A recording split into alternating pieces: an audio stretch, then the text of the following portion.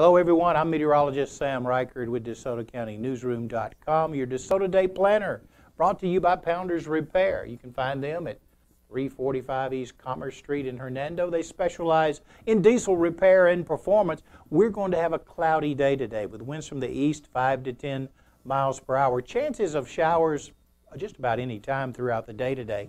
Cloudy at 9 a.m., temperature 54, 30% chance for showers, 35% chance at noon, temperature is 62. We'll be up to 64 at 3 p.m. with about a 35% chance for showers. And then by 6 p.m., 30% chance for showers, cl- cloudy still, temperature 63 degrees. I'm meteorologist Sam Rikard. Have a great day.